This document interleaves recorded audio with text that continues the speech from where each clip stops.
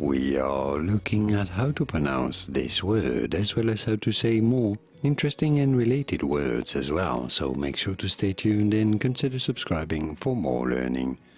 This means untruthfulness. Untruthfulness, how do you say it?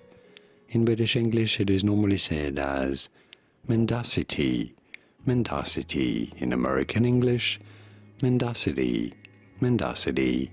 In American English or mendacity in British English, and now you know. Here are more videos on how to pronounce more interesting words whose pronunciations aren't always obvious. I'll see you there to learn more. Thanks for watching.